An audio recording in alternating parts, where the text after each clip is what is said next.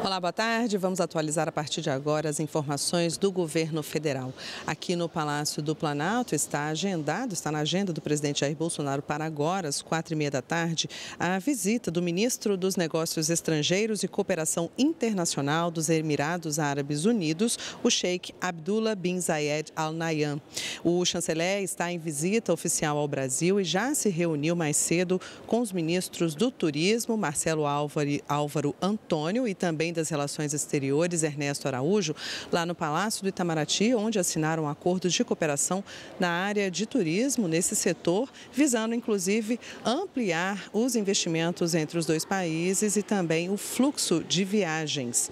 Ainda sobre a agenda do presidente Jair Bolsonaro, ele já recebeu no início da tarde, aqui no Palácio do Planalto, o presidente do Tribunal Superior do Trabalho, João Batista Pereira, e os ministros Onix Lorenzoni, da Casa Civil, Civil, Sérgio Moro, da Justiça e Segurança Pública, Fernando Azevedo, da Defesa, Augusto Heleno, do Gabinete de Segurança Institucional, André Luiz de Almeida, advogado-geral da União, e também Carlos Massa Ratinho Júnior, que é governador do estado do Paraná.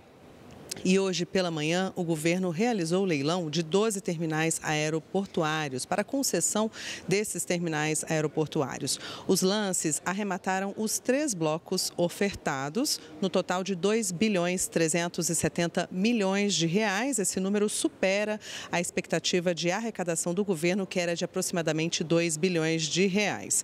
Esse leilão, realizado na sede da Bolsa de Valores de São Paulo, ele foi a quinta rodada de concessões de aeroportos do Plano de Parcerias de Investimentos, o PPI, do governo federal.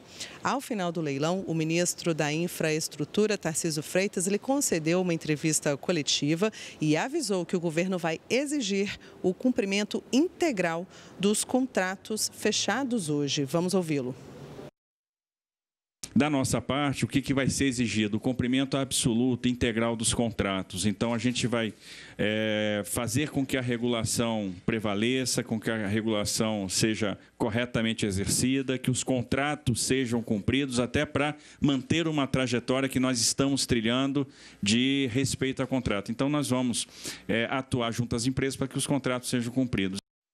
O ministro também comentou sobre o novo modelo de leilões do governo e sobre o ágil conquistado em algumas licitações. O ágil demonstra realmente confiança do mercado e possibilidade de que mais movimentos vão acontecer daquilo que está planejado no nosso estudo de viabilidade técnico, econômico e ambiental. Então, há um potencial de negócio ainda maior. O, com relação à modelagem, eu acho que foi muito acertado e, e, a gente tem que capturar os valores no leilão mesmo. Né? O mercado, a, a, a livre concorrência, dá essas boas surpresas para nós. Ela permite com que as nossas expectativas sejam superadas. Né? E o, o, os players eles vão no limite da sua potencialidade para aproveitar o negócio. Eu tenho certeza que o ágil é muito em função do, do potencial que está sendo enxergado. E aí a competição traz essas boas surpresas para nós. o presidente Jair Bolsonaro ele lamentou hoje os ataques a duas mesquitas no sul da Nova Zelândia, que deixaram quase 50 mortos e dezenas de feridos. Pelo Twitter, o presidente prestou condolências ao povo neozelandês, às famílias e aos amigos das vítimas. O ministro das Relações Exteriores, Ernesto Araújo, também comentou o atentado. Vamos ouvi-lo. O nosso profundo pesar e indignação diante eh, do horrível atentado ocorrido na Nova Zelândia. Eh, estamos emitindo uma eh, nota a esse respeito, mas queria aqui pessoalmente eh, dizer que o governo brasileiro expressa o seu pesar e a sua solidariedade ah, às famílias que sofreram essa essa horrível e inominável perda.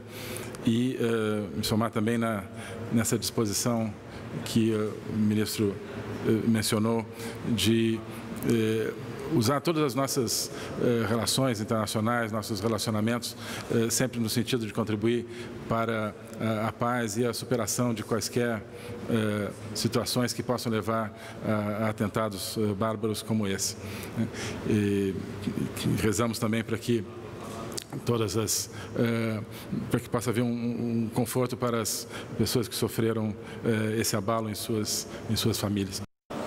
Nós podemos voltar a qualquer momento com outras informações. Você continua com a gente aqui na NBR, a TV do Governo Federal.